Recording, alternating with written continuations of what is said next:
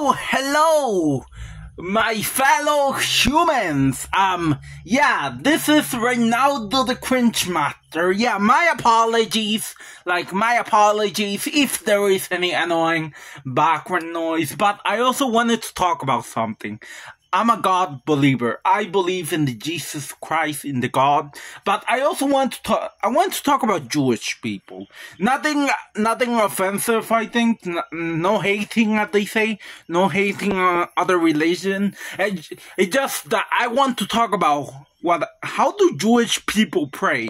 Like how do they do that in their religion? How do they do that? Here here's what I think they do, like what I imagine how Jewish people pray. So basically, what they do is they they say Hawk tuah. I imagine they do that. They say Hawk tuah, and they and then they do like the you know the character from Madagascar, the the Chris Rock, not that the actor, the character that he plays in the movie, like is a Morty.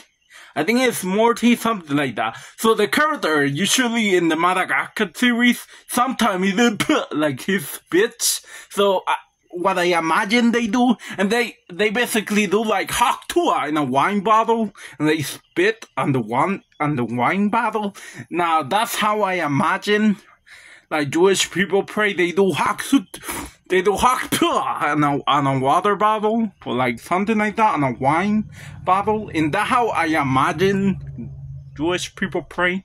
So that's all I wanted to like say in the moment. So yeah, that's all I wanted to say in the moment. So yeah, thanks for watching everybody.